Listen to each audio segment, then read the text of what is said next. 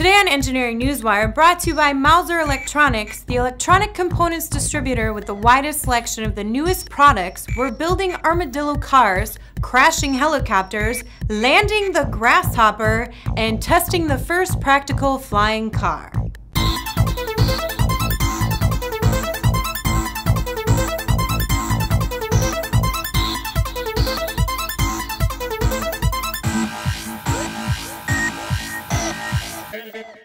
You know when you're stuck looking for a parking space during peak hours at the mall?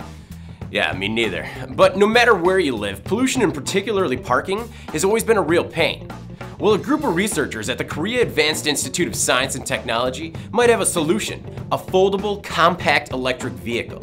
The Armadillo T prototype is based on its namesake, the armadillo. The armadillo! The armadillo. The armadillo! The armadillo. The armadillo! The armadillo. The armadillo!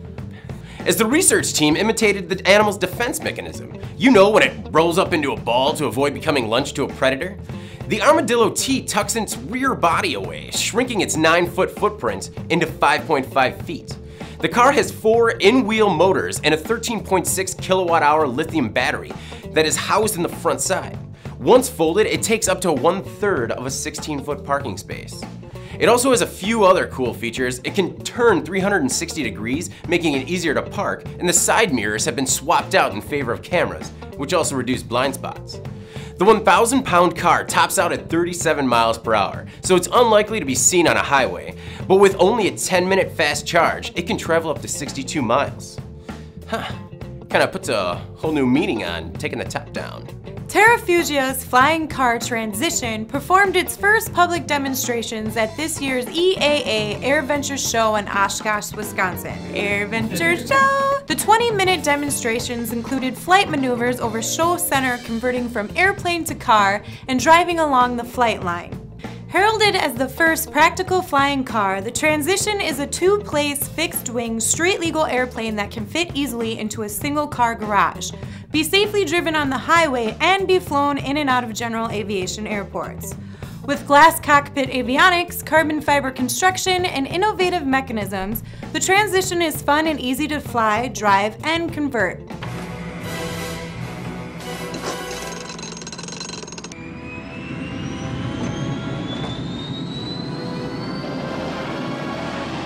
According to Terrafugia, a steering wheel and gas and brake pedals on the ground make it familiar to drive, while stick and rudder pedals provide responsive controls in flight. Next stop, hoverboards and self-lacing shoes. Power laces, all right. So we all know about Elon Musk and all of his incredible ventures in the world of engineering. Hmm. Tesla, Hyperloop, SolarCity, SpaceX, just a few. Well, this week, SpaceX managed to grab the world's attention again with the Falcon 9 test rig, also known as Grasshopper. The Grasshopper has already managed to fly 325 meters, that's over a thousand feet, into the air and land gracefully back on its takeoff point. Now, Grasshopper has successfully completed a divert test, meaning it flew 250 meters into the air and shifted 100 meters laterally, before returning to the center of the launch pad. Keep in mind that Grasshopper is taller than a 10-story building. Yeah, not a big deal to be moving this thing around. SpaceX hopes to advance the Grasshopper system to the point where the rocket could be usable for space travel, giving the capability to not only save money, but get to other planets like Mars and return home. Because, you know, a giant radioactive red desert is not necessarily a place you want to spend the rest of your life.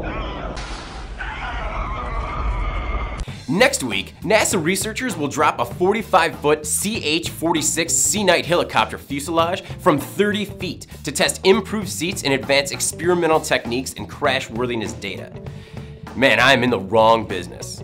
The former Marine helicopter airframe has been outfitted with accelerometers and nearly 40 cameras, which will record the fate of the 13 crash test dummies inside. During the test, onboard computers will record more than 350 channels of data as the helicopter is swung by cables like a pendulum into a bed of soil. Just before impact, pyrotechnic devices will blow the suspension cables to allow free flight. Like really, really in the wrong line of work. The helicopter will hit the ground at about 30 miles per hour to represent a severe but survivable crash. And for the first time ever, technicians have installed a video game motion sensor to see how it tracks the dummy's movements. Technicians also painted a side in black polka dots over a white background for a photographic technique called full field photogrammetry.